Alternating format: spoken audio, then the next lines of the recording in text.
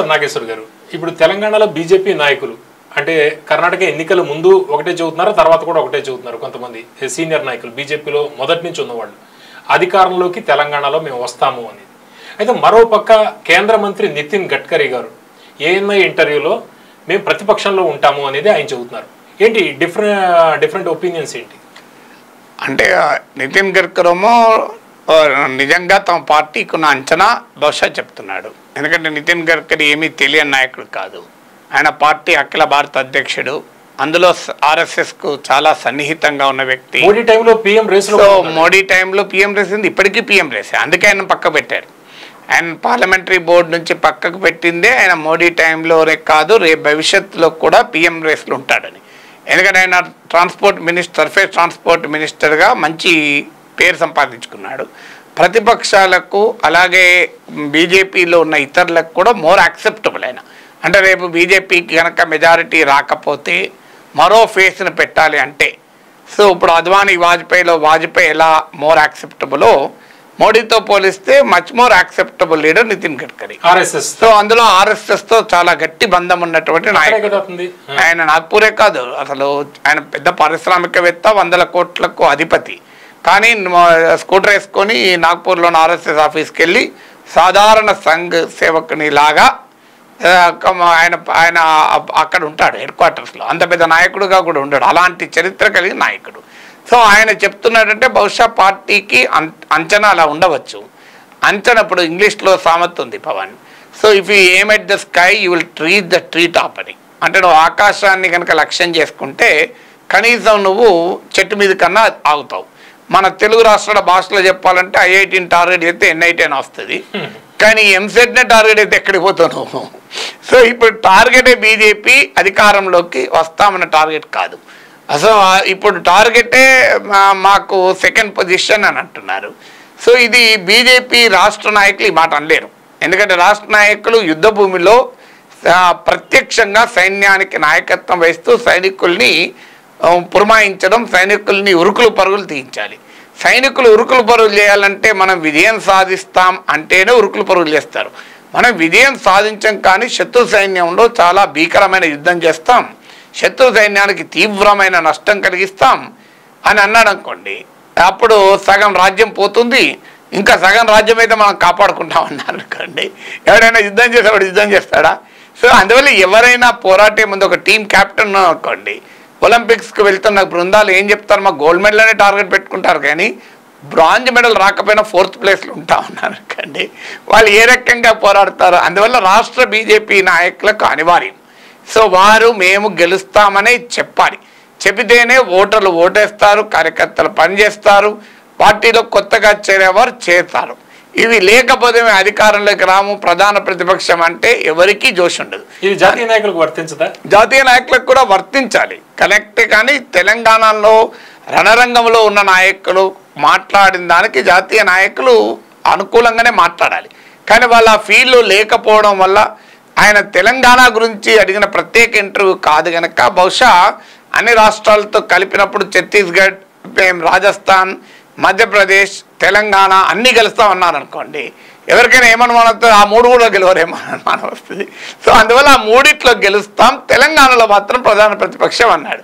ఆయన మరి ఏ context a ఏ మూడుతో అన్నాడో కానీ అది డెఫినెట్గా తెలంగాణ బీజేపీకి మాత్రం మింగుడు పడదు. అంటారే ఏదో తెల నోట్లో పచ్చి వెలక్కాయ పడ్డది అన్నట్టు.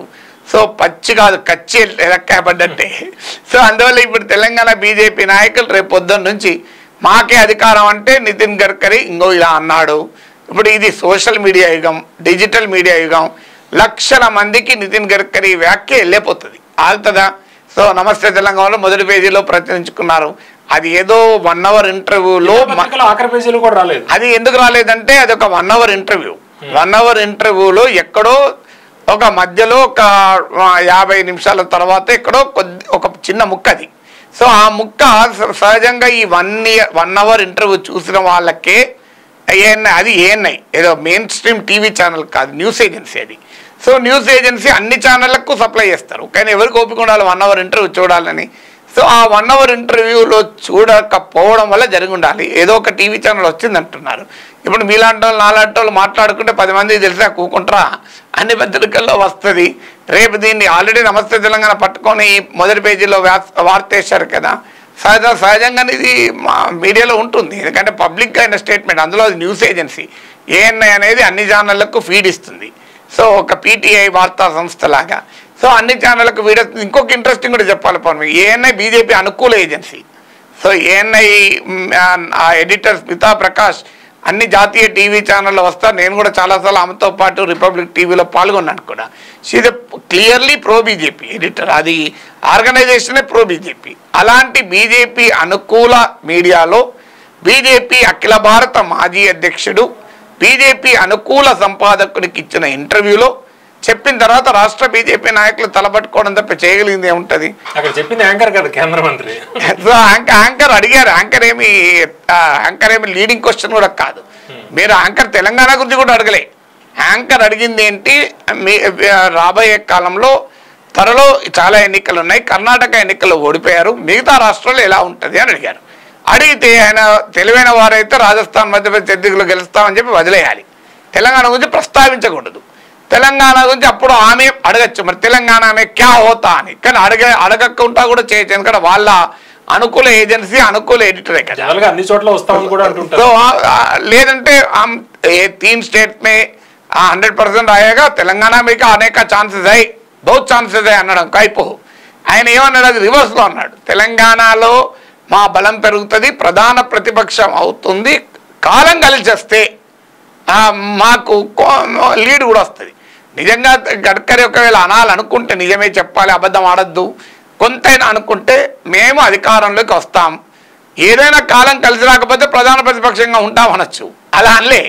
సో వస్తే ఐఐటి వస్తుంది. ఐఐటి రాకపోతే ఎట్లన్నా ఏ కారణం ఇస్తే తప్పితే ఎన్ఐటి గ్యారెంటీ అనలే.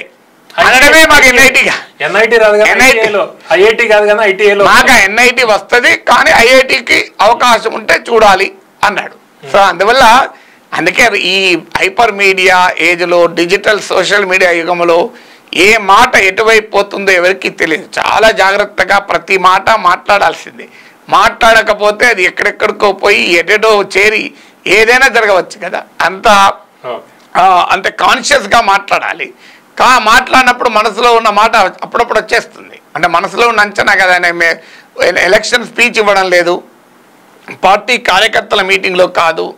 సో మాట్లాడింది ఒక టీవీ ఒక జర్నలిస్ట్కి ఇచ్చిన ఇంటర్వ్యూలో. సాధారణంగా ఆ ఇంటర్వ్యూలో ఆ కాన్షియస్గా ఉండకపోవడం వల్ల వస్తుంది. కానీ డెఫినెట్గా ఏ కారణం ఏదైనా నితిన్ గడ్కరీ ఏ కారణంతో అన్నాడు ఏ అర్థంతో అన్నాడు ఈ దీనికన్నా తెలంగాణ బీజేపీ నరేటివ్ బిల్డింగ్ అంటారు. రాజకీయాల్లో perception management narrative building Modi prime minister అయ్యాక వీటి ప్రాధాన్యత చాలా పెరిగింది.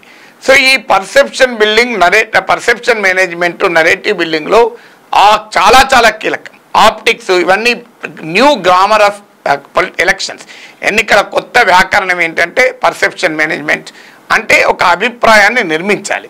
దాని అది నిర్మించాలంటే నరేటివ్ బిల్డింగ్ ఉండాలి. అంటే ఒక ఇతివృత్తాన్ని కల్పించాలి.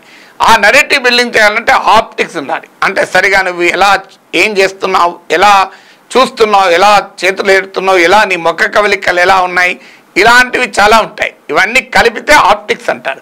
సో ఇక్కడ నితిన్ గడ్కరీ అన్న మాటలు డెఫినెట్గా ఆప్టిక్స్ సరైన ఆప్టిక్స్ కాదు.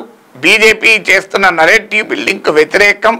పర్సెప్షన్ మేనేజ్మెంట్కు దెబ్బతీస్తుంది కనుక భారతీయ జనతా పార్టీ రాష్ట్ర నాయకత్వం ఏమీ మా ఏమనలేరు. ఎందుకంటే అది నితిన్ గడ్కరీ కాదని అనలేరు. ఖండించలేదు సో ఖండించలేరు. అది బహిరంగంగా అన్నమాట సో అటు మింగుడు పడది వ్యాఖ్యలే. అటు కక్కలేరు మింగలేరు అంటారు. ఆ పరిస్థితి ఏర్పడుతుంది.